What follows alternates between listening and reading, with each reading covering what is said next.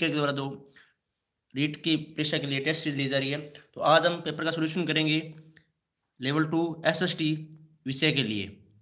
तो ये इसमें जो जीके के क्वेश्चन होते हैं, वो हर सभी के पार्ट लेवल फ़र्स्ट और लेवल टू के वो कॉमन पार्ट होता है और लेवल फ़र्स्ट के अंदर थोड़ा जीके पार्ट थोड़ा ज़्यादा है राशन जीके का। तो ये क्वेश्चन भी लेवल फ़र्स्ट वालों के लिए भी है और लेवल सेकंड वालों के लिए। और ये जो बाकी सोल्यूशन इसके अंदर है, वो एसएसटी का है। तो शुरू करते हैं वीडियो को। देखिए, पहला क्वेश्चन क्या था? सूची एक और सूची दो के साथ सुमेलित कीजिए। तो चावल अनुसंधान केंद्र कहाँ पे है? ये बांसवाड़ा के अंदर है। पहले का पांचवा। इसबगोल अनुसंधान केंद्र तो ये जोधपुर के अंदर, मंडोर। मंडोर, जोधपुर के अंदर। ज्वार अनुसंधान केंद्र तो ज्वार अनुसंधान केंद्र है वो उदयपुर वल्लभ नगर के अंदर है। उदयपुर वल्लभ नगर और चारा बीज उत्पादन फार्म है जो ये जैसलमेर के अंदर है। तो ये देखिए इसका आंसर क्या होगा? दो नंबर, पहले का पाँच, दूसरे का एक, चार, दो। और एक बकरी चारा अनुसंधान केंद्र है, वो याद रखना, वो है रामसर अजमेर के अंदर। रामसर अजमेर के अंदर बकरी चारा अनुसंधान केंद्र। दोस्तों, अगर आप चैनल पे पहली बार विज़िट किया है तो चैनल को सब्सक्राइब कर लें, वीडियो को लाइक करें और अपने दोस्तों में शेयर कर दीजिए। आगे देखिए क्वेश्चन नंबर दो। निम्न में से कौन सा काजरी का क्षेत्रीय अनुसंधान केंद्र नहीं है? तो बताना है, क्षेत्रीय अनुसंधान केंद्र काजरी का कौन सा नहीं है? तो देखिए काजरी के पाँच अनुसंधान केंद्र हैं। जो तीन तो राजस्थान के अंदर हैं और दो राजस्थान से बाहर हैं। तो देखिए, पाली भी है, लद्दाख भी है और भुज भी है। तो जो बाड़मेर है, ये काजरी का एक अनुसंधान केंद्र नहीं है। इसका राइट आंसर होगा बाड़मेर। जो बाकी जो रह गए हैं दो, उसमें एक जैसलमेर है जैसलमेर और एक बीकानेर। काजरी की स्थापना हुई थी उन्नीस के अंदर और इसका मुख्यालय जो जोधपुर के अंदर है। आगे बढ़ते हैं, क्वेश्चन नंबर तीन देखिए। राष्ट्रीय उष्ट अनुसंधान केंद्र जोड़बीर बीकानेर में स्थित शुरुआत में यह एक उत्कृष्ट परियोजना निदेशालय के रूप में स्थापित किया गया था, जिसे वर्ष उन्नीस में क्रमोन्नत करके राष्ट्रीय अनुसंधान केंद्र बनाया गया था। इसकी स्थापना तो हुई थी पाँच जुलाई उन्नीस सौ चौरासी को। पाँच जुलाई उन्नीस सौ चौरासी को, लेकिन इसको राष्ट्रीय अनुष्ठान केंद्र के रूप में कन्वर्ट कर दिया था। वो नाइन्टी, नाइनटीन नाइन्टी फाइव के अंदर किया गया था। आगे देखिए क्वेश्चन नंबर चार। पिलानी में स्थित, पिलानी में स्थित केंद्रीय इलेक्ट्रॉनिक अभियांत्रिकी संस्थान निम्नलिखित में से किसका संगठक है? तो देखिए जो सीरी है ना जो, ये है किसका संगठन है? सीरी पिलानी झुंझुनू के अंदर जो सीरी है ना, ये किसके तहत है, ये स्थापित किया गया है? तो ये C S I R C S I R C W E R I सीरी बोलते हैं। ये इलेक्ट्रॉनिक अभियांत्रिकी अनुसंधान संस्थान सीरी तो ये सी एस आई आर के एक संगठक है ये। देखिए, क्वेश्चन नंबर पाँच देखिए। राज्य में निम्न में से किन स्थानों पर पशुधन अनुसंधान केंद्र स्टेशन स्थित है? तो देखिए नोर भादरा के अंदर भी है, मंडोर जोधपुर के अंदर भी है, और बोजुंदा तीनों के अंदर है यहाँ। तो कोडमदेश के अंदर नहीं है। उसका राइट आंसर होगा तीन नंबर। आगे देखिए क्वेश्चन नंबर छह। अवनी लेखरा के संबंध में ऐसे बताना है। तो बताना है कौन सा कथन असत्य है? पैरा बैडमिंटन खिलाड़ी अवनी लेखरा का संबंध जयपुर से अवनी लेखरा का संबंध तो जयपुर से है, लेकिन ये बैडमिंटन खिलाड़ी नहीं है। ये पेरा निशानेबाज से संबंधित है ये। ठीक है अवनी लेखरा का संबंध किससे है? निशानेबाजी से इसका संबंध है। सॉरी अवनी लेखरा का संबंध है पैरा शूटिंग से। शूटिंग मतलब निशानेबाजी से ही है। और इनको तो वर्ष दो हज़ार इक्कीस में मेजर ध्यानचंद खेल रत्न अवार्ड दिया गया था। तो अपने को बताना इसमें से कौन सा कथन असत्य है? तो इसमें पहला कथन यह सत्य है। आगे देखिए, क्वेश्चन नंबर सात। राजस्थान के एकमात्र खिलाड़ी जिन्हें राजस्थान राज्य खेल रत्न पुरस्कार से सम्मानित किया राइट आंसर होगा लिम्बाराम। लिम्बाराम को जो कि तीरंदाजी के खिलाड़ी हैं, लिम्बाराम तीरंदाजी के खिलाड़ी हैं और इनको वर्ष उन्नीस सौ चौरानवे में राजस्थान सरकार द्वारा राजस्थान राज्य खेल रत्न पुरस्कार से किया गया। अब तक तो एक ही व्यक्ति है जिन्हें ये पुरस्कार मिला है उन्नीस सौ चौरानवे के अंदर और किसी को मिला है। तो बाकी देख लेती है। देवेंद्र जाजड़िया का संबंध किस खेल से है? तो इनका संबंध है बाला फेंक से। आगे देखिए, क्वेश्चन नंबर आठ। भारत के प्रथम पैरा एथलीट जिन्होंने पैरालंपिक खेलों में दो स्वर्ण पदक जीता है तो इसका राइट आंसर होगा देवेंद्र जाजड़िया। इनका संबंध चूरू ज़िले से है और इन्होंने पैरा ओलंपिक खेलों में दो स्वर्ण पदक और एक रजत पदक जीता है। देखिए 2004 और 2006 के जो पैरा ओलंपिक थे, उनमें तो जीता था स्वर्ण पदक 2004 में और 2006 में। और 2020 में जो था ओलंपिक पैरा ओलंपिक उसमें जीता था रजत पदक। और इनको 2004 में अर्जुन अवार्ड मिला हुआ है और पद्मश्री अवार्ड मिला 2012 के अंदर और पहले पैरा एथलीट हैं जिनको पद्मश्री अवार्ड दिया गया था, सर्वप्रथम। और पहले ही ये पैरा एथलीट हैं जिन्हें सर्वप्रथम पद्म भूषण पुरस्कार से सम्मानित किया गया 2022 के अंदर। ये काफ़ी इंपॉर्टेंट क्वेश्चन है। आगे देखिए, और एक बता दूँ आपको मैं, जो देवेंद्र जदड़ी हैं, ये राजस्थान राज्य निर्वाचन आयोग के ब्रांड एम्बेस्टर भी हैं। राजस्थान राज्य निर्वाचन आयोग के ब्रांड एम्बेस्टर हैं। तो ये खेल और टॉपिक रीड के लिए रीड के सिलेबस में स्पेशल रूप से लेवल फ़र्स्ट और लेवल सेकंड के लिए।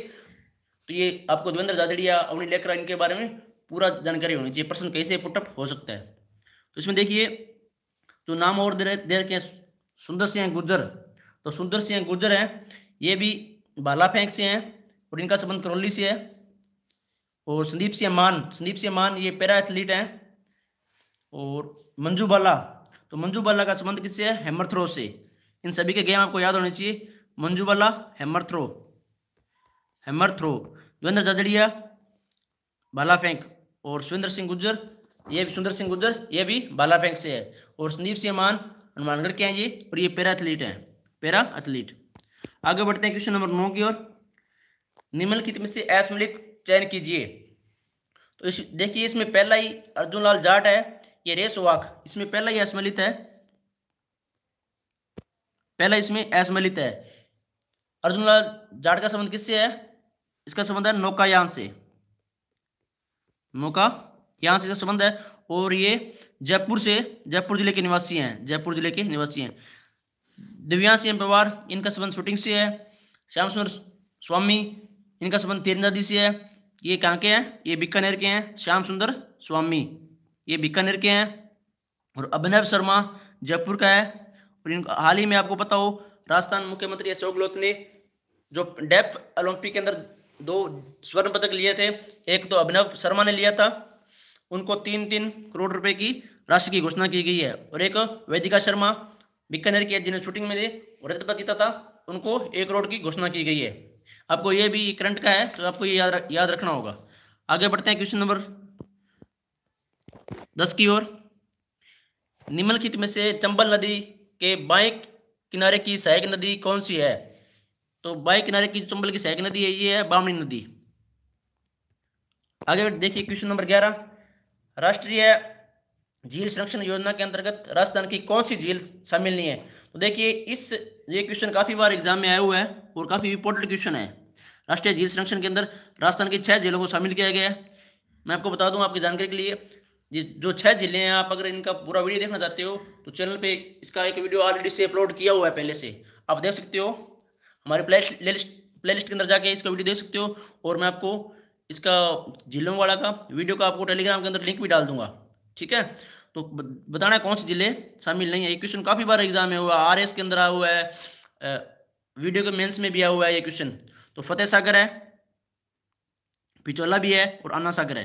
तो इसका राइट आंसर होगा, जो झील शामिल नहीं है, वो जैसमंद झील शामिल नहीं है।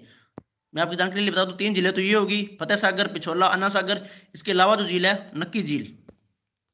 नक्की झील भी शामिल है इसके अंदर।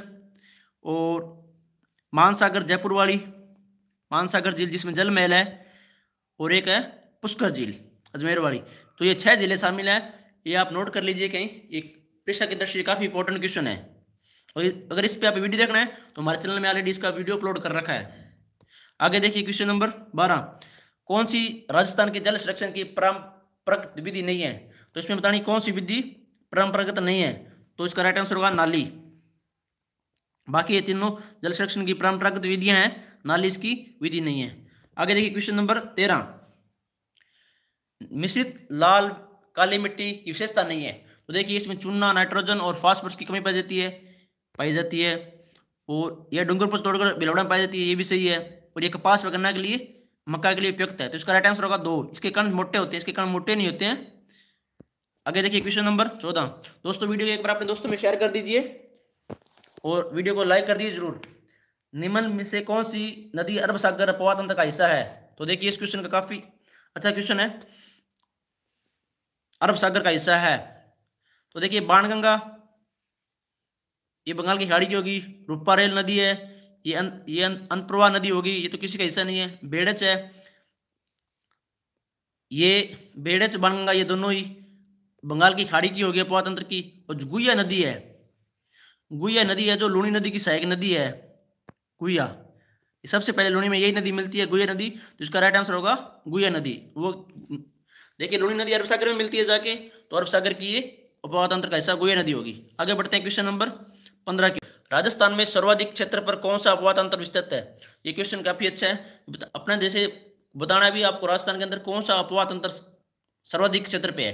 तो देखिए, सर्वाधिक क्षेत्र पे है जो आंतरिक प्रवाह क्षेत्र है। आंतरिक प्रवाह क्षेत्र, वो है साठ परसेंट पे। और बंगाल की खाड़ी वाला है, ये है चौबीस परसेंट। अरब सागरीय प्रवाह तंत्र है, ये है सोलह परसेंट। टोटल सौ हो गया ना ये। आगे देखिए क्वेश्चन नंबर सोलह।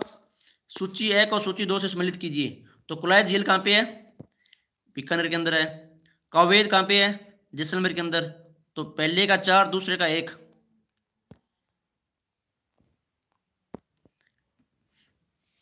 और देखिए आगे, कालाना कहाँ पे है? कालाना है जोधपुर के अंदर।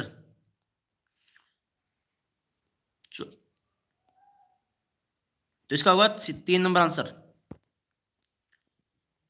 स्वरूप सागर, उदयपुर के अंदर। आगे देखिए क्वेश्चन नंबर सत्रह। राजस्थान में अपवाह क्षेत्र की दृष्टि से नदियों का सही अरोही क्रम बताना है। अरोही क्रम बताना बढ़ता क्रम बताना है, ठीक है? तो इसका राइट आंसर होगा एक नंबर माई चंबल, लूणी और बनास नदी। आगे देखिए क्वेश्चन नंबर अठारह। निम्नलिखित में कौन सा सही सम्मिलित नहीं है?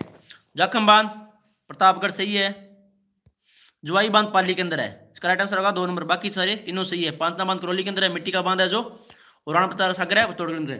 अगला क्वेश्चन देखिए। निम्नलिखित में से कौन सी सही सम्मिलित नहीं है? तो नदी का उद्गम बताना है। कुठारी नदी द्वेर की बड़ी रास से सही है। बेड़च, गंगा की पहाड़ी सही है। और माई नदी, अमरोरू पहाड़ी या मेहत झील के अंदर है मरोरू पहाड़ी। ये भी सही है। तो बनास नदी कहाँ से है? कमनौर की पड़ी राजमंद से इसका राइट आंसर होगा। दो नंबर। बताना असमलित नहीं है। असमलित नहीं है। सही सम्मिलित नहीं है तो इसका राइट आंसर बनास नदी, ये बिजार की पड़ी से नहीं निकलती है निकलती है खमनौर की पड़ी राजमंद से, खमनौर की पड़ी राजमंद से। अगला क्वेश्चन देखिए क्वेश्चन नंबर बीस। उत्तरी जैसलमेर में पालीवाल ब्राह्मणों द्वारा जल संरक्षण की परंपरा विधि क्या कहलाती है? इसका राइट आंसर है खड़ीन। क्वेश्चन भी इंपॉर्टेंट है। काफ़ी बार नेक्स्ट टाइम पूछा गया है। क्वेश्चन नंबर देखिए, इक्कीस। सही स्मेलित है। तो सही स्मेलित है, इसमें बताना कौन सा सही स्मेलित है? देखिए, वर्टिसोल, कोटा, बूंदी, बारा, ये सही स्मेलित है।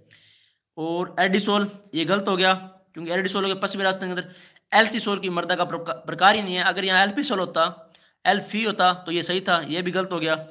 अब इन दो ऑप्शनों में मेरे को डाउट है। देखिए, ये दोनों ऑप्शन सही बैठ रहे हैं।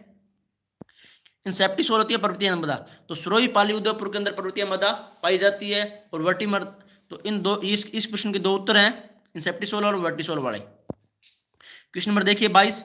निम्नलिखित में से कौन से प्रकार की मर्दा समस्या राजस्थान को देखने को नहीं मिलती। तो राजस्थान की मर्दा छारिया है लमनिया भी है और सेम समस्या भी है। गंगानगर और मानगढ़ का जो क्षेत्र है ना, बड़ोपल, वो सेम के लिए ग्रस्त है।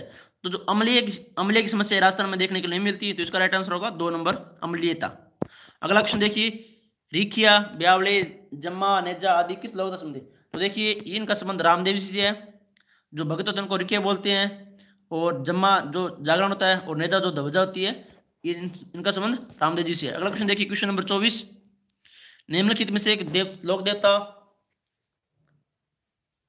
वे उनसे संबंधित स्थलों में सही सम्मिलित नहीं है। तो देखिए, अड़बू जी का संबंध बुड़ेल से है, बीका जी का रेडी गाँव बीकानेर से है, और मैं जी मांगलिया, बापड़ी गाँव से है। तो वीर कल्ला जी राठौर का संबंध चालकना गाँव से नहीं है। वीर कल्ला जी का जन्म कहाँ हुआ था? वीर कल्ला जी का जन्म हुआ था सामियाना गाँव, नागौर। सामियाना गाँव, नागौर। और एक वीर कला जी की मूर्ति लगी हुई है, काले पत्थर की, वो भी आपको वाहन की पूजा की जाती है, वो भी वाइन का मेला लगता है तो वो है गाँव सामलिया गाँव। सामलिया गाँव डूंगरपुर के अंदर है। ये, इनका संबंध, इस स्थान का संबंध है जो वीरकला जी राठौड़ से है। ठीक है, अगला क्वेश्चन देखिए क्वेश्चन नंबर पच्चीस बाबू के संदर्भ में दिए गए कथनों में असंगत कथन बताना है बताना है कौन सा कथन सत्य नहीं है। तो बाबू की स्मृति में भाद्रपद कृष्ण नवी को कोलकुंड कोलुमंड फ्लोदी में मेला लगता है। ये पहला क्वेश्चन इसमें गलत हो गया। रेवाड़ी जाति इसकी प्रमुख देते हैं सही है। बाबू जी की फड़ का वाचन रावण था वादेंद्र की ये भी सही है।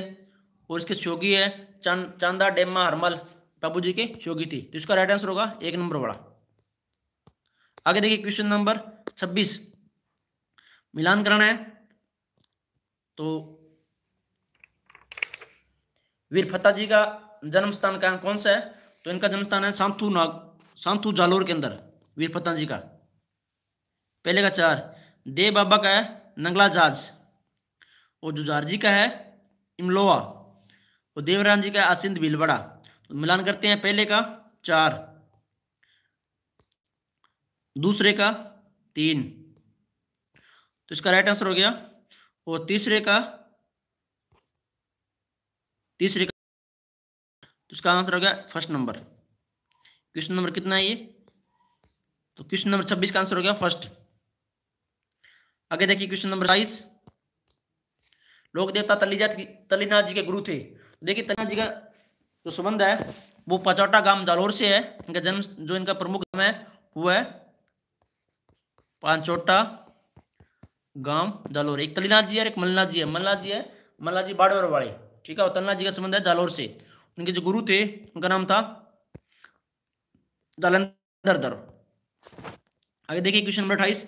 निम्न में से किस क्रांतिकारी ने रास बिहारी बोस के साथ मिलकर अठारह उन्नीस में सशस्त्र क्रांति की योजना बनाई थी? तो इसका राइट आंसर है गोपाल सिंह खरवा। अगला क्वेश्चन देखिए क्वेश्चन नंबर उनतीस। निम्न लिखित में से राजस्थान की विभूति एवं संबंधित कार्य क्षेत्र की सम्मिलित नहीं है। तो देखिए गौरी बाई संगीत कला से है कमल कठारी लोक संस्कृति से है रत्ना शास्त्री बलगासी से तो पंडित हरिनारायण शर्मा है, इनका संबंध वास्तुकला से नहीं है। देखिए, अलवर के अंदर जो किसान आंदोलन और जो अलवर प्रजा मंडल है उससे उनसे संबंधित है तो इनका होगा समाज से, समाज कल्याण से संबंधित होगा तो ये इसका गलत कूट है। अगर देखिए, क्वेश्चन नंबर तीस। निम्नलिखित में से कथनों से ऐसे तय कथन बताना है। तो अल्लाह जिलाई भाई को बीसीसी लंदन द्वारा कोर्ट ऑफ़ सिंगर अवार्ड उन्नीस तिरानवे प्रदान किया गया ये सही कथन है। और दामोदर राठी उन्नीस इक्कीस को व्यापार में समाज की स्थापना की, ये भी सही है। और बाल भूषण बाल मुकुंद बिस्सा जो जोधपुर से है, राजस्थान से इन्होंने जिनकी मृत्यु भूख हड़ताल से होगी तो ये भी सही है। तो जो इसका राइट आंसर है, वो है तीन नंबर। आगे देखिए क्वेश्चन नंबर थर्टी वन इकतीस। निम्न में से किस प्रजा मंडल अथवा लोक परिषद की स्थापना राजस्थान से बाहर हुई थी? तो देखिए, सुरोई। तो सुरोई की स्थापना कहाँ हुई थी? सुरोई की स्थापना हुई थी मुंबई के अंदर। मुंबई के अंदर। कब हुई थी? उन्नीस में। और किसके द्वारा की गई थी? बुद्धि शंकर त्रिवेदी और भीमराज के द्वारा की गई थी। और बीकानेर की स्थापना हुई थी कोलकाता के अंदर 1935 के अंदर। बीकानेर की की थी? मग्गाराम वेद ने। और भरतपुर की स्थापना कहाँ हुई थी? रिवाड़ी, हरियाणा के अंदर हुई थी। रिवाड़ी, हरियाणा के अंदर। और इनकी स्थापना की थी गोपीलाल यादव और ठाकुर देशराज ने। तो इसका ये तीनों ही राज्य से बाहर स्थापना हुई तो इसका राइट आंसर होगा चार नंबर। आगे देखिए क्वेश्चन नंबर, बत्तीस। सूरज देवी, सावित्री देवी रमा देवी। कृष्णा कुमारी देववंती नामक की महिलाओं का संबंध किस प्रजामंडल से है? इनका संबंध है मारवाड़ प्रजामंडल से। दोस्तों, वीडियो को अपने दोस्तों में शेयर कर दीजिए। और चैनल पे पहली बार विज़िट किया है तो चैनल आगे देखिए क्वेश्चन नंबर।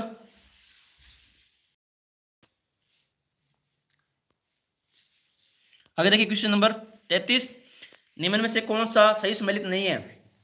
देखिए, अभी मैंने बताया भरतपुर का भरतपुर का तो गोपीलाल यादव है। भरतपुर की स्थापना कब हुई थी? उन्नीस सौ अड़तीस में कहा हुई थी? रेवाड़ी के अंदर। और धौलपुर का कौन है? धौलपुर का। तो धौलपुर का ये इसका जो राइट आंसर है, दो नंबर होगा। धौलपुर का वर्दी शंकर त्रिवेदी नहीं है। धौलपुर प्रजामंडल की स्थापना की थी कृष्ण दत्त पालीवाल ने। कृष्ण दत्त, पालीवाल ज्वाला प्रसाद और जोरीलाल और मूलचंद, ये चार थे और स्थापना की थी उन्नीस सौ छत्तीस के अंदर। मेवाड़ के बलवंत सिंह मेहता और बूंदी के कांतिलाल चौथानी, सही है। तो इसका राइट आंसर का दो नंबर जो सही सम्मिलित नहीं है। आगे देखिए, question number thirty four Congress के इलाहाबाद अधिवेशन अठारह में राजस्थान के प्रतिनिधि के तौर पर किसने भाग लिया? तो देखिए, कांग्रेस के जो चौथा अधिवेशन हुआ था अठारह सौ अठासी में, वो इलाहाबाद के अंदर होता। मैं आपको बता दूँ एस के लिए वाले जो स्टूडेंट है, वो लिख लें।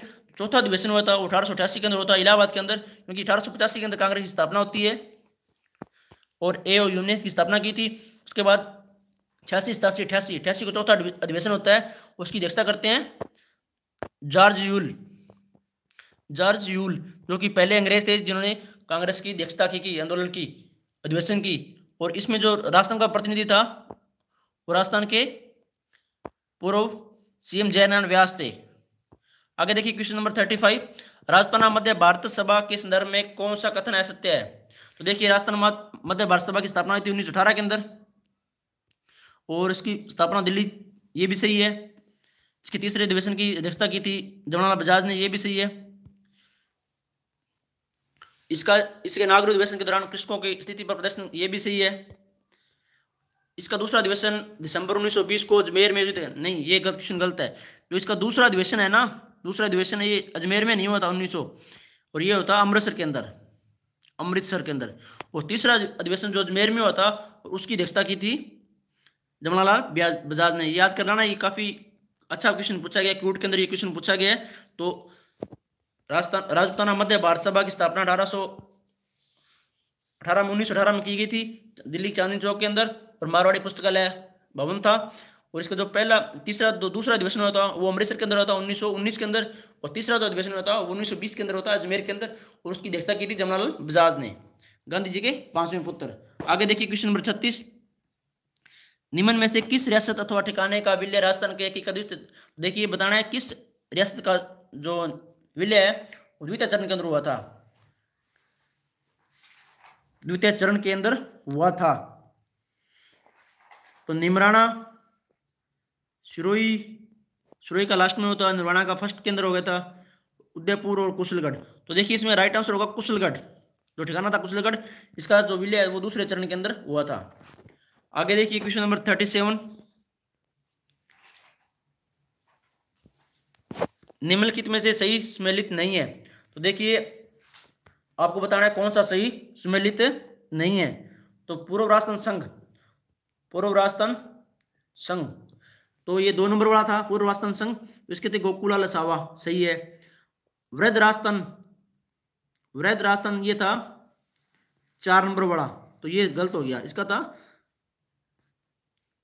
हीरालाल शास्त्री थे इसके और मत्स्य संघ के थे तो इसको आपको देखिए दोस्तों, याद करने में एक ट्रिक बताता हूँ। ट्रिक है उशो बिगो बुमा और माई। देखिए, पहला चरण था, उसके थे शोभाराम कुमावत, दूसरे थे गोकुलाल सावा, तीसरे थे मनकेलाल वर्मा, चौथे थे हीरालाल शास्त्री, उसो बिगा, उसो बिगो बुमा माई। इनसे प्रधानमंत्री और जो राजभवन का वो चारों याद, उदय बांसी हैं भीम सिंह हैं गोपाल सिंह हैं और मानसी हैं। ये चारों याद हो जाएँगे तो इसका राइट आंसर होगा जो दो नंबर होगा। आगे देखिए, क्वेश्चन नंबर थर्टी एट निम्नलिखित में से ऐसे कथन कौन सा है? देखिए, इस पेपर में काफ़ी ऐसे कथन कौन से हैं, सुमेलित नहीं है, ये चीज़ पूछी जा रही है। तो आप क्वेश्चन को थोड़ा अच्छे तरीके से पढ़े। तो thirty number thirty eight number question है, इसका आंसर देखिए। राज राजपुताना में जोधपुर ऐसा सबसे बड़ी रियासत थी, ये कथन सत्य है। तीस मार्च को राजस्थान दिवस मनाया जाता है ये भी सत्य है। राजस्थान के प्रथम महाराज प्रमुख भोपाल सिंह ये भी सत्य है। और संयुक्त राजस्थान संगत, संयुक्त राजस्थान संघ का उद्घाटन सरदार पटेल ने किया था। देखिए, संयुक्त राजस्थान था तीसरा। तीसरा चरण था। तो तीसरे चरण का जो उद्घाटन किया था, वो किया था, पहले का किया था एनवी गौडगिल ने, पहले चरण का एनवी गौडगिल में। दूसरे का किया था एनवी गौडगिल ने। तीसरे का किया था चाचा नेहरू ने, जवाहरलाल नेहरू ने किया तीसरे चरण का, चौथे चरण का किया था तो पटेल ने किया था। तो इसका जो राइट आंसर हो गया वो चार है। ये कथन गलत है, क्योंकि सरदार पटेल ने नहीं किया था, ये जवाहरलाल नेहरू ने किया था इसका उद्घाटन संयुक्त राजस्थान का। आगे देखिए, क्वेश्चन नंबर थर्टी नाइन निम्नलिखित में से किन पुरातत्वों ने गणेश और सभ्यता स्थल का उत्पादन किया था? तो आपको बताना है, गणेश और सभ्यता कहाँ पे है? गणेश्वर शिखर के अंदर है, कांति नदी के किनारे। तो इसका जो सही आंसर है, वो है रतन चंद्र अग्रवाल आर सी अग्रवाल और विजय कुमार ने इसका उत्खनन कार्य किया था। अगर देखिए क्वेश्चन नंबर फोर्टी। निम्न में से कौन सा पुरातात्विक अवशेष गणेश और सभ्यता स्थल से प्राप्त नहीं हुआ? तो देखिए, काले व नीले रंग के अलंकृत मध्यपत्र ये प्राप्त हुए थे। दोरी पेचदार सिरयुक्त ताम पिन ये भी हुई थी, भवन निर्माण में इंटें। तो देखिए, इंटों का कोई अवशेष प्राप्त नहीं हुआ था गणेश सभ्यता के अंदर, मिट्टी के सिलेंडर बर्तन। तो इसका राइट आंसर तीन नंबर हो गया। आगे देखिए क्वेश्चन नंबर इकतालीस। गणेश्वर सभ्यता के संदर्भ में ऐसे कथन बताना है। तो बताना है गणेश्वर सभ्यता के ऊपर ऐसे कथन कौन सा है?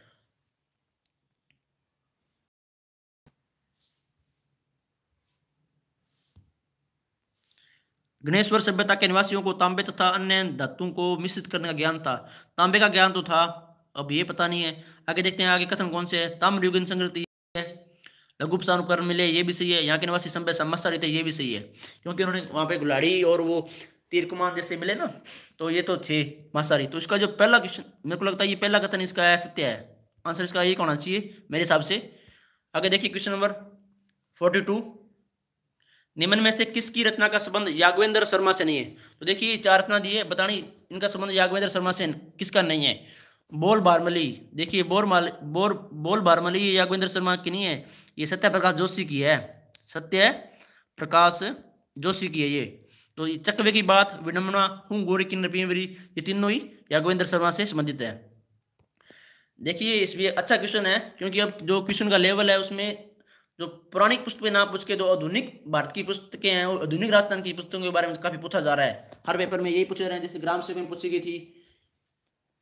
आगे देखिए question number forty three Bundi Naresh Budh Singh ने नेहत्रंग नामक रीति ग्रंथ की रचना किस भाषा में की थी? तो ये काफ़ी अच्छा क्वेश्चन है। इसकी की रचना की थी ब्रज भाषा के अंदर। क्वेश्चन नंबर देखिए फोर्टी फोर निम्नलिखित में से सही सम्मिलित नहीं है। तो देखिए, सेनानी, ये मेघराज मुकुल की सही है। दुर्गा चरित्र ये विकट सिंह बारट की सही है और गणरूप गुजक इक्कीस दस गुड़ तो इसका जो राइट आंसर होगा वो होगा दो नंबर मारवाड़ राज्य का इतिहास। तो मारवाड़ राज्य का इतिहास ये किसकी रचना है? ये बांकी दास आशिया की रचना है, ना कि जोरखा मेहर की ये बांकी दास आशिया की रचना। बांकी दास आशिया, कवि राजा बांकी दास आसिया अगला क्वेश्चन देखिए क्वेश्चन नंबर फोर्टी फाइव निम्नलिखित में से किस रचना में गिरुशमेल का युद्ध और धर्मत का युद्ध, जो औरंगज़ेब और सांझा औरंगज़ेब और दर्शकों के मध्य होता, और गिरीश महल का युद्ध, मालदेव और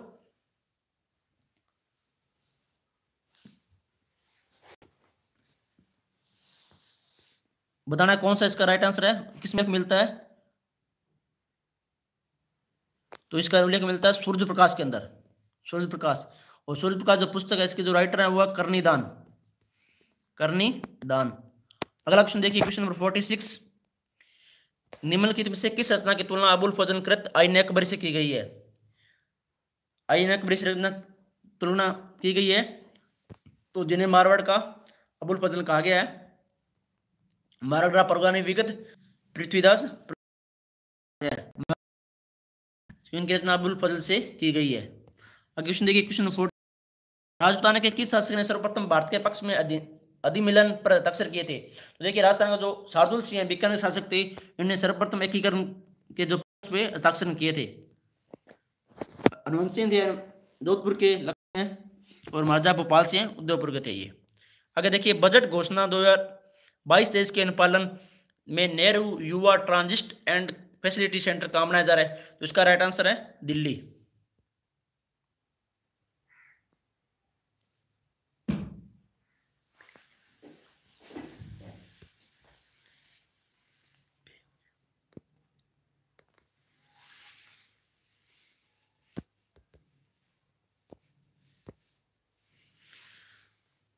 देखिए क्वेश्चन नंबर देखिए फोर्टी नाइन। इसका राइट आंसर है। फोर्टी एट का राइट आंसर है दिल्ली नई दिल्ली। राज, राजीव गांधी ग्रामीण ओलंपिक खेलों का शुभारंभ कहाँ से हुआ था? तो देखिए इसका जो शुभारंभ हुआ था। वो था पालगाम जोधपुर से। और चौप गाँव है। ये राजस्थान का जो इसमें ये राजस्थान का सबसे बड़ा खेल क्रिकेट स्टेडियम है फोल चौपगांव जयपुर। और रणखार पाली है। रणखार पाली ने ये रणखार जालोर के अंदर है, जो राजस्थान का सोलवा कंजर्वेशन रिज़र्व सेंटर है। आगे देखिए क्वेश्चन नंबर पचास। अगस्त 2022 में राजस्थान डिजी फेस्ट के दौरान देश में बने पहले कृषि ड्रोन का प्रदर्शन किया गया। इसका नाम क्या था? तो इसका नाम था विश्रोन ड्रोन। क्वेश्चन नंबर देखिए फिफ्टी वन राजकीय विद्यालयों में बिजली पहुँचाने के उद्देश्य से उजास अभियान चलाया जा रहा है। यह अभियान राज्य के किस ज़िले में चलाया जा रहा है? तो देखिए, ये क्वेश्चन मैंने आज ही अपने टेलीग्राम चैनल पे क्विज के अंदर माध्यम से डाला था, जो काफ़ी इंपॉर्टेंट क्वेश्चन है। आग, अगर आपको डेली की राशन जीके की करंट अफेयर की और राशन जीके की इंपॉर्टेंट क्वेश्चन क्विज चाहिए तो आप हमारा टेलीग्राम चैनल एग्ज़ाम क्लास ज़रूर ज्वाइन करें, जिसका लिंक आपको डिस्क्रिप्शन में दिया हुआ है और जो इसकी पेपर की पीडीएफ है पेपर पीडीएफ वहीं डाली जाएगी, ठीक है? तो इसका राइट आंसर होगा अलवर। इनको इस अभियान को चलाने का श्रेय है उजास अभियान को जितेंद्र जी सोनी है, जो जिला कलेक्टर हैं, अलवर के, उनके द्वारा ये अभियान चलाया जा रहा है। आगे देखिए क्वेश्चन नंबर फिफ्टी टू ग्रामीण विकास मंत्रालय द्वारा जारी रिपोर्ट के अनुसार वित्त वर्ष दो हज़ार इक्कीस बाईस के नरेगा के तहत सर्वाधिक परिवारों को रोज़गार उपलब्ध करने के लिए देश में क्रमशः द्वितीय और तृतीय स्थान पर राजस्थान के दो ज़िले रहे थे। तो देखिए, दो ज़िले कौन से रहे थे? ये बाड़मेर और नागौर रहे थे। आगे देखिए क्वेश्चन नंबर फिफ्टी थ्री मुख्यमंत्री चिरंजीवी योजना के तहत जीवन रक्षा योजना का शुभारंभ कब किया गया? तो इसका शुभारंभ किया गया छह सितंबर दो हज़ार बाईस को। छह सितंबर दो हज़ार बाईस। अगला क्वेश्चन देखिए क्वेश्चन नंबर फिफ्टी फोर जनवरी 2023 में रोहट पाली में राष्ट्रीय स्काउट गाइड जम्बूरी के कौन से संस्करण का आयोजन प्रस्तावित है? तो इसका राइट आंसर है अठारहवा संस्करण रोहट पाली के अंदर। राजस्थान के मान्यता प्राप्त विश्वविद्यालय, निजी विश्वविद्यालय में आरटीए के लिए प्रवेश की आयु सीमा ये क्वेश्चन जो आरटीए से आगे है क्वेश्चन तो इसका राइट आंसर है, देखिए, न्यूनतम पाँच वर्ष और अधिकतम सात वर्ष।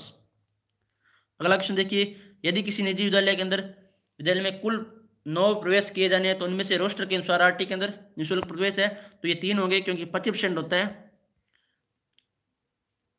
आगे देखिए क्वेश्चन नंबर सतावन फिफ्टी सेवन निजी विद्यालयों के आरटीए निःशुल्क प्रवेश के लिए भौतिक स्थापना के लिए गठित दल के सदस्यों की संख्या कितनी होती है? तो सदस्य संख्या होती है दो गठित दल के लिए, भौतिक स्थापना के लिए।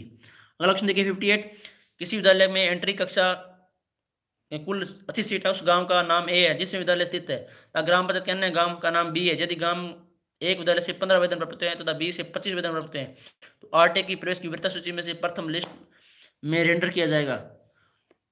तो ये क्वेश्चन आरटी से रिलेटेड है। इसका राइट आंसर देखिए।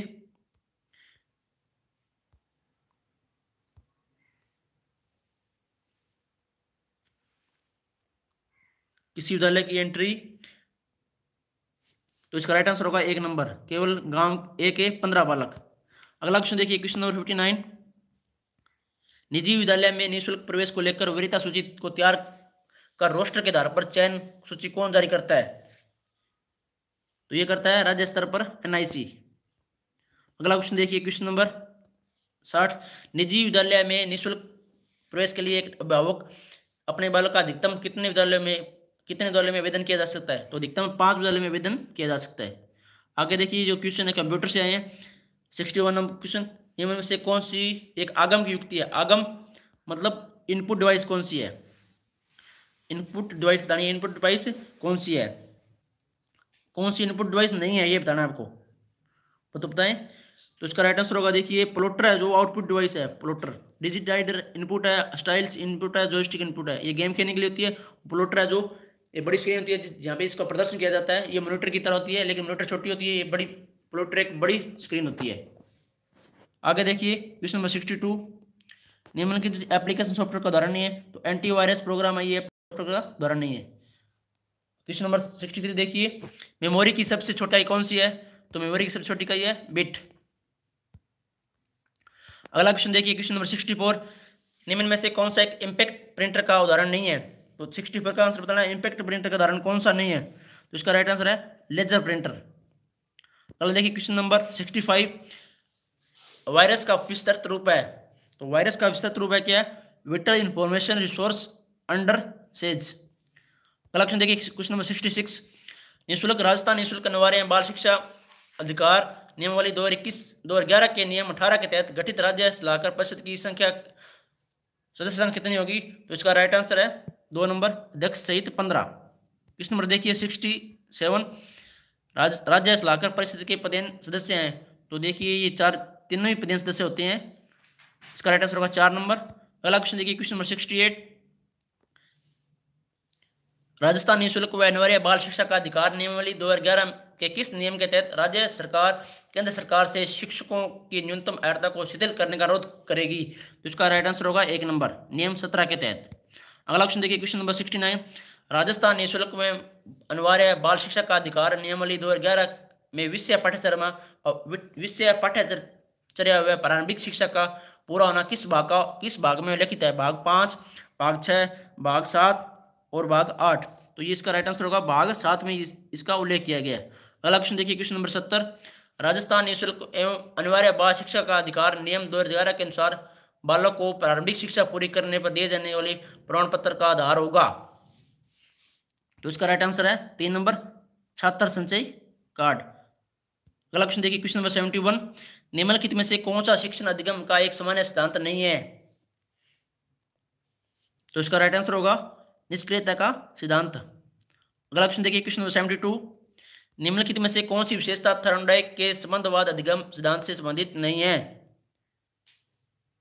अधिगम में प्रयास त्रुटि समाहित है, ये संबंधित है।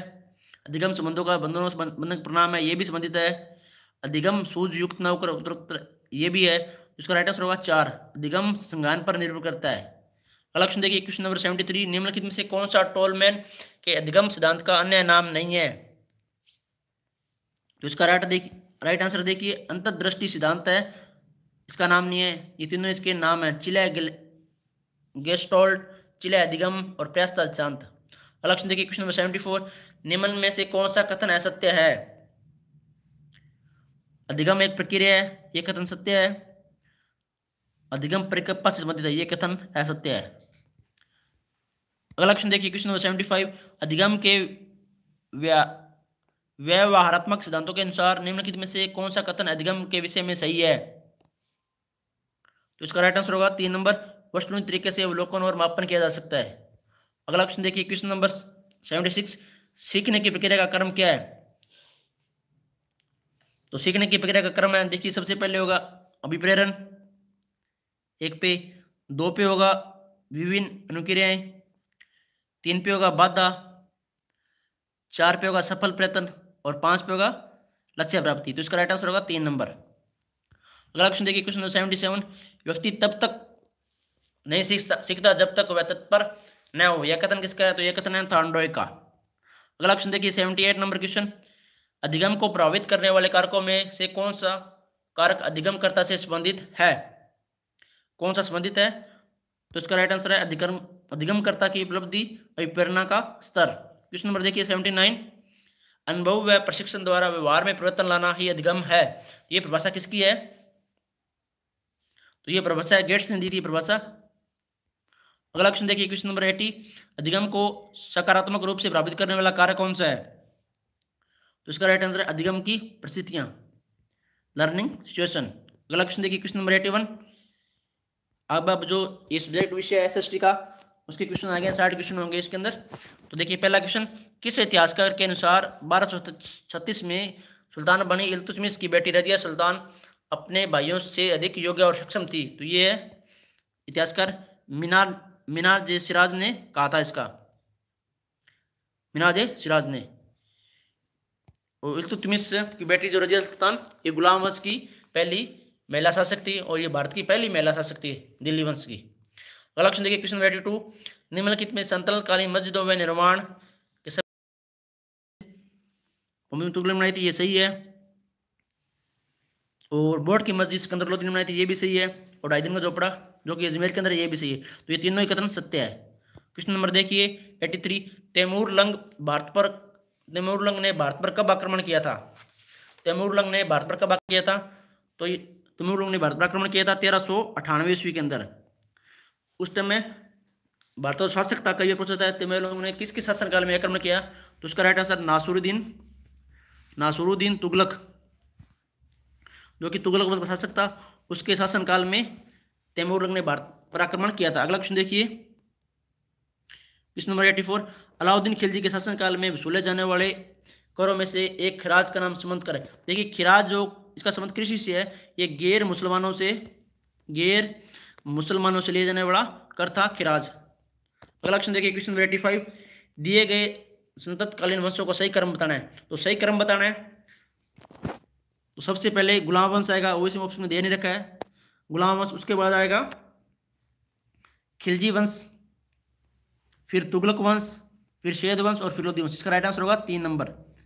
खिलजी वंश, तुगलक वंश, शेद वंश और गुलाम वंश। सबसे पहले गुलाम वंश आएगा ऑप्शन में नहीं, फिर खिलजी वंश आएगा, फिर तुगलक वंश आएगा, शेद वंश आएगा और लोधी वंश आएगा। इनका आपको कर्म भी याद होना चाहिए और इनका सन भी याद होना चाहिए, कब तक किस वंश ने शासक किया था। आगे देखिए question number eighty six Alauddin Khilji तथा मोहम्मद बिन तुगलक ने विशाल स्थानीय नगद वित्तीय नगद वेतन भोगी सेना का गठन किया था। इस सेना के गठन का प्रमुख कारण क्या था? मंगोलों का जो आक्रमण था, ये प्रमुख कारण था। इस कारण इन्होंने सेना गठित की, नगद वेतन दिया जाता था। क्वेश्चन नंबर देखिए एटी सेवन निम्नलिखित में संतकालीन इतिहासकार व इतिहास सम्मिलित नहीं है। बताना है कौन सा इसमें सही सम्मिलित नहीं है। तो इसमें तारिक ए बरक ये सही है। तारुक उस मसीर, ये भी सही है। और फतो उस सलातीन ये भी सही है। तो इसका राइट आंसर होगा फतो व जादरी ये सही नहीं है। आगे देखिए question number eighty eight Mohammad bin Tughlaq के शासनकाल में दक्षिण भारत के किन दो स्वतंत्र राज्यों को दिया हुआ? ये क्वेश्चन काफ़ी इंपॉर्टेंट है। देखिए, जब मोहम्मद बिन तुगलक शासक था तो उस शासनकाल के अंदर विजयनगर और बहमनी राजा ने अपने स्वतंत्र राष्ट्र घोषित कर लिया था। तो विजयनगर की स्थापना की थी हरिहर बुक्कान, हरिहर हरिहर और बुक्का नामक दो भाई थे। उन्होंने तेरह में इसकी स्थापना की थी, विजयनगर साम्राज्य की और बहमनी साम्राज्य की स्थापना की थी। तेरह में अलाउद्दीन बहमद बहमद शाह ने इसकी स्थापना की थी बहमनी साम्राज्य की। अगला क्वेश्चन देखिए क्वेश्चन नंबर एटी नाइन निम्नलिखित में से संतानकाली वंश संस्थापक देखिए, वंश के नाम, उनके संस्थापक और उनका काल ये तीनों पूछ जाते हैं। शेद वंश के संस्थापक थे खिजर खां, ये सही है। शेद वंश था राजस्थान जो भारत के अंदर वो चौदह सौ इक्यावन से चौदह सौ इक्यावन से लेके, चौदह चौदह से लेके चौदह सौ इक्यावन तक। और खिलजी वंश के कौन थे?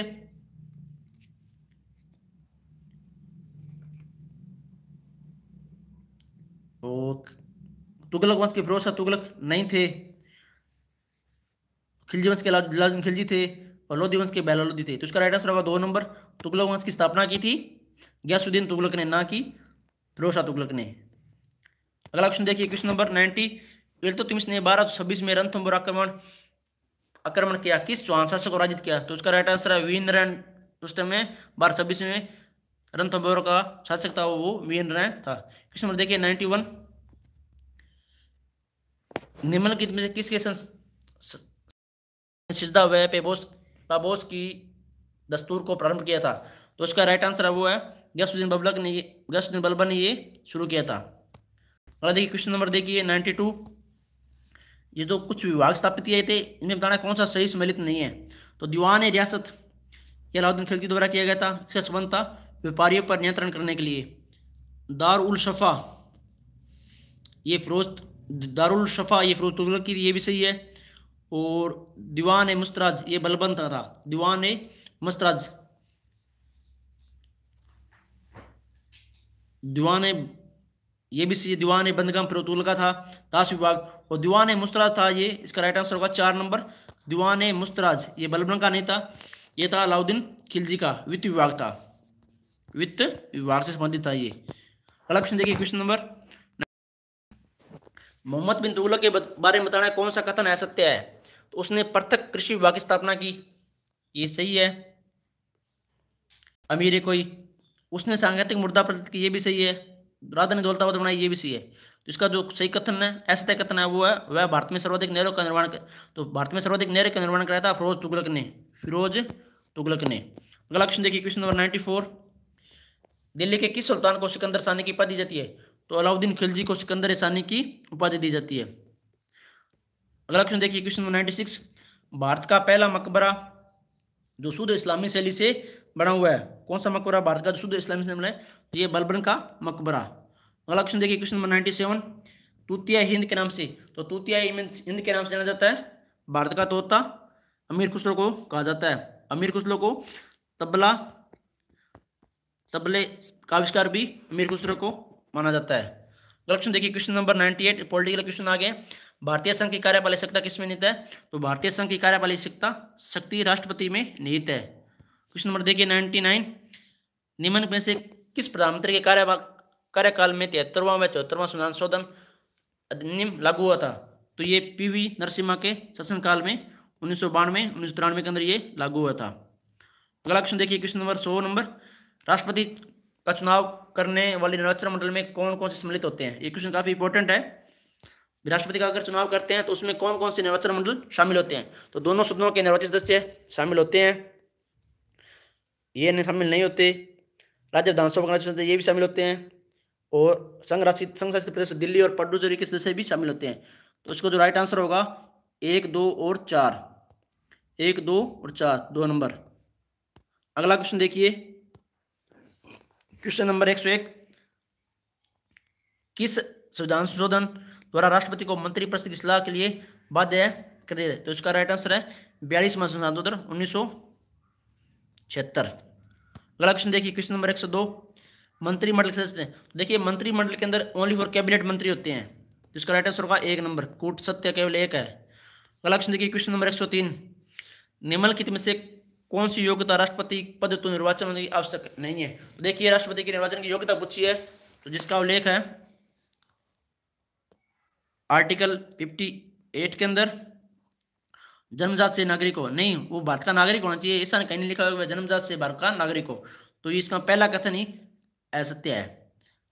बाकी तीनों पद, तीनों इसकी शर्तें हैं। निर्वाचित होने के लिए आवश्यक योग्यता होनी चाहिए। पैंतीस वर्ष की आयु, लोकसभा का सदस्य बनने की योग्यता और किसी लाभ पद पर आसित आसीन नहीं हो। अगला क्वेश्चन देखिए क्वेश्चन नंबर एक सौ चार। निम्नलिखित में से कौन सी मंत्री परिषद शक्तियों का अंतर्गत नहीं है? बताना है, कौन सी मंत्री परिषद की शक्ति नहीं है? तो मंत्री नीति निर्माण करना है बजट का निर्माण करना ये भी है, और विदेशी संबंध संघ का ये भी है। तो इसका राइट आंसर दो। न्यायपालिका पर नियंत्रण नहीं रख सकती मंत्री परिषद। अगला क्वेश्चन देखिए, क्वेश्चन नंबर एक किस अनुच्छेद के तहत राष्ट्रपति द्वारा आदेश जारी किया जाता है? तो उसका राइट आंसर होगा एक सौ तेईस के अनुच्छेद। आर्टिकल एक सौ तेईस के तहत राष्ट्रपति द्वारा अध्यादेश जारी किया जा सकता है, और आर्टिकल दो सौ तेरह के तहत राज्यपाल द्वारा अध्यादेश जारी किया जाता है। राज्यपाल द्वारा अध्यादेश जारी किया जा सकता है। अगला क्वेश्चन देखिए, क्वेश्चन नंबर एक सौ छह। प्रधानमंत्री सहित प्रत्येक मंत्री को पद ग्रहण करने से पूर्व राष्ट्रपति द्वारा निम्न में से किस प्रकार शब्द लाई जाती है? तो उनके पद के प्रति शब्द लाई जाती है और गोपनीयता की शपथ लाई जाती है। सुधान रक्षा की शपथ नहीं दिलाई जाती। तो उसका हुआ एक और तीन केवल। अगला क्वेश्चन देखिए क्वेश्चन नंबर एक सौ सात। संविधान के अनुच्छेद प्रधानमंत्री का कर्तव्य है। क्वेश्चन देखिए, एक सौ आठ। राष्ट्रपति पर महाभियोग के संबंध में गलत विकल्प है। इसका उल्लेख थर्ट, सिक्सटी वन में ये भी सही है। या संसद किसी ये भी सही है कथन? तो इसका जो राइट आंसर गलत विकल्प है, ये तीन नंबर। संसद के दोनों सदों में विशेष बहुमत नहीं चाहिए। ये दो बटा तीन का बहुमत चाहिए। दो बटा तीन बहुमत से पास होना ज़रूरी है। ये अर्धनय प्रक्रिया, ये भी सही है। तो इसका राइट आंसर होगा तीन नंबर। आगे देखिए क्वेश्चन नंबर एक सौ नौ देखिए। राष्ट्रपति की आपातकालीन शक्तियों का उल्लेख में कौन सा कथन गलत है? तो पहला कथन, राष्ट्र भारतीय संविधान के भाग अठारह में आपातकालीन उपबंधों को उल्लेखित किया गया है। ये कथन सत्य है। अनुच्छेद तीन सौ बावन के अनुसार युद्ध ब्रह युद्ध बाह्याक्रमण या सशस्त्र व्यूह राष्ट्रीय आपातकाल लगाया जा सकता है। ये कथन भी सत्य है। अगला देखिए, अनुच्छेद अनुच्छेद तीन सौ साठ के अनुसार वित्तीय आपातकाल घोषणा सामान्य दो वर्ष, ये भी सत्य कथन है। और वित्तीय आपातकाल के दौरान राज्य विधायिका द्वारा पारित सभी विधेयकों को राष्ट्रपति एक असत्य है। तो इसका राइट आंसर होगा चार नंबर। अगला क्वेश्चन देखिए क्वेश्चन नंबर एक सौ दस। प्रधानमंत्री की मृत्यु या पद त्याग कौन सा कथन प्रभावित होता है? देखिए, जब भी प्रधानमंत्री या मृत्यु हो जाती है पद त्याग होता है तो पूरी मंत्री परिषद ही भंग हो जाती है। इसका राइट आंसर होगा दो नंबर। अगला क्वेश्चन देखिए, एक सौ ग्यारह नंबर। अनुच्छेद सेवेंटी सेवन थ्री के अनुसार भारत के, भारत सरकार के कार्य को सुविधापूर्वक किए जाने, मंत्रियों के कार्य आवंटन के लिए नियम कौन बनाता है? तो नियम बनाता है राष्ट्रपति। अगला क्वेश्चन देखिए क्वेश्चन एक सौ बारह। अनुच्छेद सेवेंटी फाइव के तहत राष्ट्रपति प्रधानमंत्री को तो राष्ट्रपति प्रधानमंत्री की नियुक्ति करता है न कि मनोनीत करता है, नियुक्ति करता है राष्ट्रपति। अगला क्वेश्चन देखिए, ज्वार बाटा उत्पत्ति के लिए कौन से बल उत्तरदायी हैं? तो सूर्य का गुरुत्व बल उत्तरदायी है चंद्रमा ए भी उत्तरदायी है, और पृथ्वी का केंद्रीय बल। तो ए ए, बी और डी तीनों ही उत्तरदायी है, ए, बी, डी। उसका राइट आंसर होगा चार नंबर। अगला क्वेश्चन देखिए क्वेश्चन नंबर चौदह। दीर्घ ज्वर दीर्घ ज्वार आते हैं। तो देखिए, जब सूर्य, चंद्रमा और पृथ्वी तीनों एक सीधी होते हैं, जब दीर्घ ज्वार आते हैं, यो, ये स्थिति होती है अमावस्या और पूर्णिमा के दिन। अमावस्या और पूर्णिमा के दिन होती है। और जो अप ज्वार आते हैं, जो लघु ज्वार आते हैं, वो जब सूर्य, चंद्रमा, पृथ्वी तीनों समकोण में होते हैं, या जब अपसौर या उप अपभोग स्थिति होती है या जब कृष्ण शुल्क और कृष्ण शुल्क अष्टमी की दिन ये लघु ज्वार आते हैं। अगला क्वेश्चन देखिए, किसी स्थान पर दैनिक ज्वार कितने समय बाद आता है? तो किसी तो यह आता है चौबीस घंटे और बावन मिनट के बाद।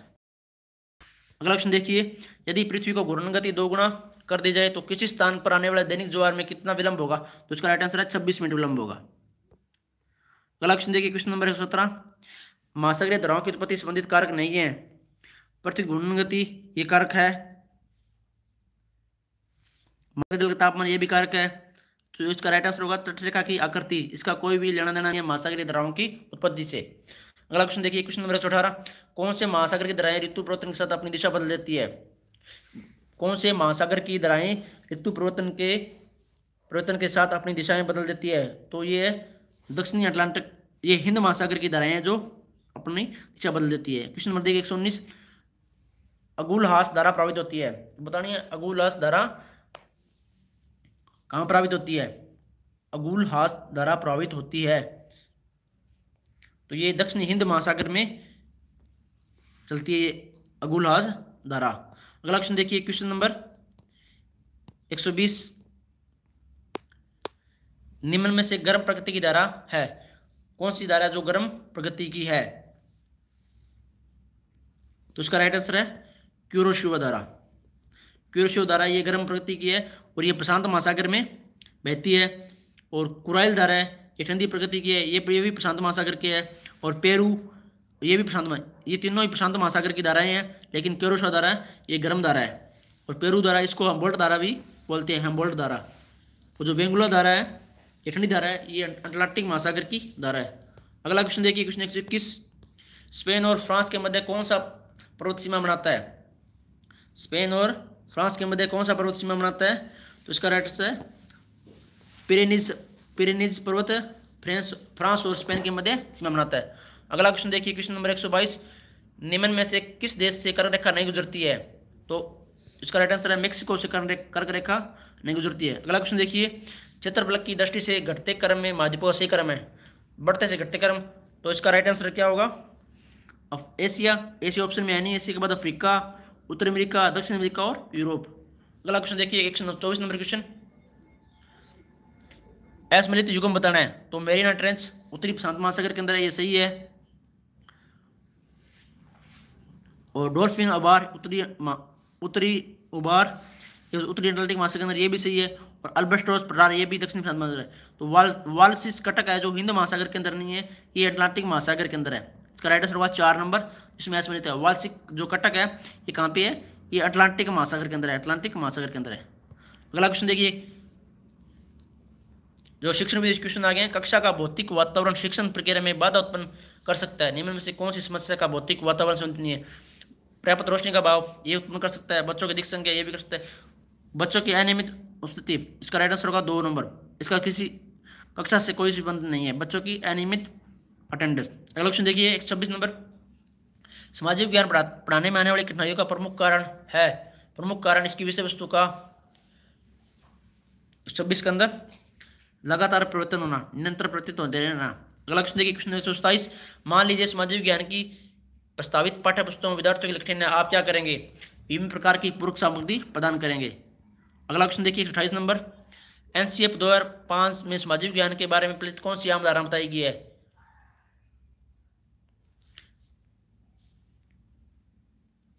ये एक अनुपयोगी विषय है, ये बताया गया है, ये केवल सूचना का, ये भी बताया गया तीनों धारणाएँ बताई गई है। अगला क्वेश्चन देखिए, एक सौ उनतीस नंबर। सामाजिक अध्ययन पाठ्यक्रम संबंधी समस्या के संबंध में सही नहीं है। क्रियाशीलता के सिद्धांत की अनुपालना। अगला क्वेश्चन देखिए, इकतीस नंबर। कथनों को पढ़िए और सही विकल्प का चयन कीजिए। सामाजिक विज्ञान पढ़ाना उत्तरोत्तर रूप से जटिल एवं चुनौतीपूर्ण होता जा रहा है। एक कथन सत्य है और भारत के शिक्षण संस्थानों में पढ़ाने के लिए पेशेवर रूप से प्रशिक्षित समाज वैज्ञानिकों की कमी है। ये क्वेश्चन गलत है तो उसका राइट आंसर देखिए। ए सही और आर गलत है, तीन नंबर अगला क्वेश्चन देखिए क्वेश्चन नंबर एक सौ इकतीस। निम्नलिखित में से किस समस्या का सामाजिक विज्ञान के शिक्षक को ज़्यादातर सामना करना पड़ता है? तो इसका राइट आंसर होगा, विशिष्ट उद्देश्य जो कि शिक्षण को स्मरण या ज्ञान के अधिगम स्तर तक सीमित करते हैं। अगला क्वेश्चन देखिए, एक सौ बत्तीस नंबर क्वेश्चन सामाजिक विज्ञान के शिक्षक के समक्ष अति महत्वपूर्ण चुनौती होती है। अंत विषय उपागम के प्रयोग करने की। अगला क्वेश्चन देखिए, एक सौ तैतीस नंबर। सामाजिक विज्ञान के शिक्षण को बल देना चाहिए। दो नंबर, विद्यार्थी की सामाजिक मुद्दों के प्रति चिंतन शक्ति के विकास पर। अगला क्वेश्चन देखिए, एक सौ नंबर क्वेश्चन सामाजिक विज्ञान अध्यापन की समस्या है। तो अध्यापक छात्र अनुपात देखो ना ऐप प्रशिक्षित अध्यापक पुस्तकालय सुविधा चारों ही है, समस्या है। अगला क्वेश्चन देखिए, एक सौ पैंतीस नंबर। एक वस्तु का अधिकांश प्राकृतिक प्रक्रिया से उत्पादन क्षेत्र की गतिविधि तो ये प्राथमिक गतिविधि है। अगला क्वेश्चन देखिए, एक सौ छत्तीस नंबर। जर्मनी के शोक से स्थापित, जर्मनी के शोक से स्थापित उद्योग है। तो ये राहुल केला, उड़ीसा का।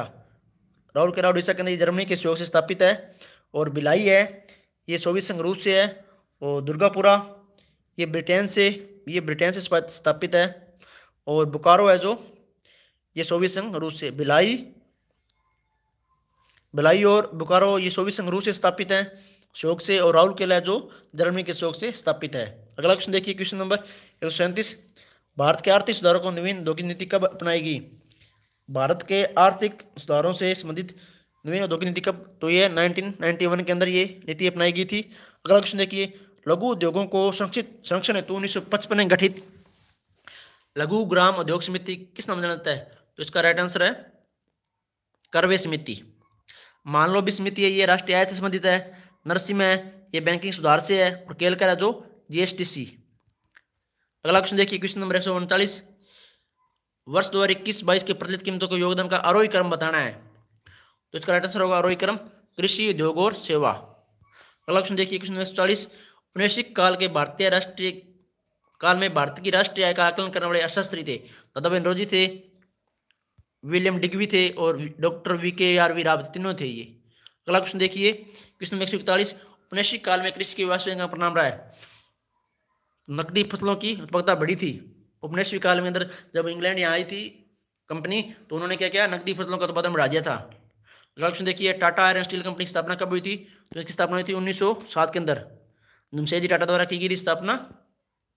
अगला क्वेश्चन देखिए, एक सौ तिरालीस नंबर क्वेश्चन उपनिवेशिक काल में भारतीय अर्थव्यवस्था सर्वाधिक उत्पादन का योगदान था। तो उपनिवेशिक काल में भारतीय अर्थव्यवस्था सर्वाधिक उत्पादन का योगदान था कृषि क्षेत्र का। अगला क्वेश्चन देखिए, अधिकतर अनुमानों के अनुसार बीसवीं सदी के प्रावधान में भारत की राष्ट्रीय स्वृद्धि दर अनुमानित की गई थी। तो ये की गई थी पाँच परसेंट अगला क्वेश्चन देखिए क्वेश्चन नंबर एक सौ पैंतालीस। निम्न में से कौन सी भारत की उपनिवेशिक व्यवस्था की विशेषता नहीं है? धन का सिद्धांत। ये था, ये भी था। दो नंबर था, पूंजी के धोखों का विकास नहीं किया गया था। इसका राइट आंसर होगा दो नंबर। अगला क्वेश्चन देखिए वन फोर्टी सिक्स वर्ष दो में कुल जीवन धोखे क्षेत्र किस क्षेत्र का सर्वाधिक योगदान है? तो ये है, विनिर्माण उद्योग का सर्वाधिक योगदान है। क्वेश्चन नंबर देखिए वन कृषि कल्याण, किसान कल्याण विभाग की रिपोर्ट के अनुसार वर्ष दो उन्नीस में कृषि एवं संबंध क्षेत्र में, क्षेत्रों में जीवीए में सर्वाधिक योगदान किसका है? तो यह कृषि फ़सलों का। अगला क्वेश्चन देखिए वन फोर्टी एट भारत में हरित क्रांति शुरुआत कब हुई थी? तो ये थी nineteen sixty seven, nineteen sixty eight के अंदर। अगला क्वेश्चन देखिए, निम्नलिखित कथन पर विचार कीजिए। पिछले पाँच वर्षों में जी में वृद्धि हुई है। ये गलत कथन है कि कोरोना के काल में वृद्धि लगातार वृद्धि नहीं हुई थी। वर्ष दो हज़ार इक्कीस बाईस प्रतिशत